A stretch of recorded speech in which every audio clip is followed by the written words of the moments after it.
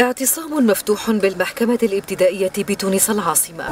هو شارة الانطلاق إلى اعتصام مفتوح في كل المحاكم والإدارات الجهوية والمركزية التابعة لوزارة العدل.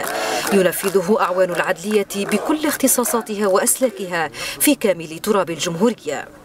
القرارات الارتجالية الأخيرة اللي خذاها السيد رئيس الحكومة في في علاقة بمطالب القضاة. وقت اللي رئيس الحكومة يقوم ويعلن يقول باش نعملوا مستشفى للقضاة للقضاة وعائلاتهم وأعوان المحاكم. معناتها إحنا ما عندناش عائلات. كي السيد رئيس الحكومة يقول نعملوا قانون أساسي للقضاة والتفقدية العامة وللسجون والاستسلاح ويستثنى كتبة المحاكم اللي إحنا نخدموا من 2012 بأمر عدد 246 ل 2012 ما هوش ما لا يرتقي بدرجه القانون. وأنه تجاوزته الأحداث اليوم. فهذه استثناء رئيس الحكومة لكتبه المحاكم هي القطرة اللي افاضت الكأس. هو اعتصام لسبعة آلاف عون تحت راية الاتحاد العام التونسي للشغل.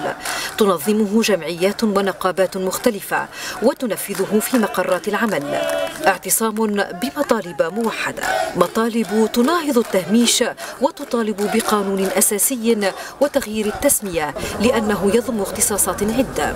هذا القطاع مهمش من أبسط الحقوق من حتى المسائل البنية التحتية من نظافة ومن أدوات إلى غير ذلك إلى أعلى مستوى مستوى التكوين والترقية. أصبحت هذه المسائل جد مقلقة وأصبحت منهكة صحيا ونفسيا. لقد طالبنا بحقوقنا بالطرق المشروعة وبالوسائل المعتمدة سواء على مستوى النقابات سواء على مستوى التحركات سواء على مستوى البيانات استوفينا كل إشكال النضال هنا بقاعة الجلسة من محكمة الاستئناف بتونس العاصمة. يعتصم أعوان وزارة العدل وكتبات المحاكم منددين بوضعية المحاكم التونسية من بنية مهترئة ومن إقصاء على مستوى الترقيات ومن ظروف مهنية صعبة. ظروف تؤثر سلبا على المنظومة القضائية وأدائها. رانا قطاع منتج للثروة. إحنا وقت تخرج مليارات في دينا كل شهر آه، ومن بعد نلقاو نحن محطوطين على جنب آه نحن صبرنا برشا. آه سنوات وإحنا القطاع الوحيد اللي ما خرجش في الطلبات.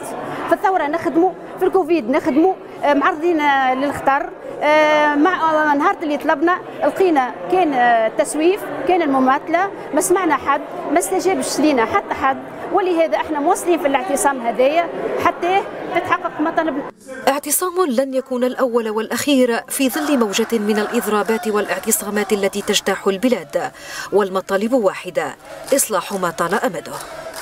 يعيش سلك القضاء والعدلية مخاضا متواصلا في أجواء تصعيدية مستمرة من أجل بناء قضاء مستقل في دولة عادلة.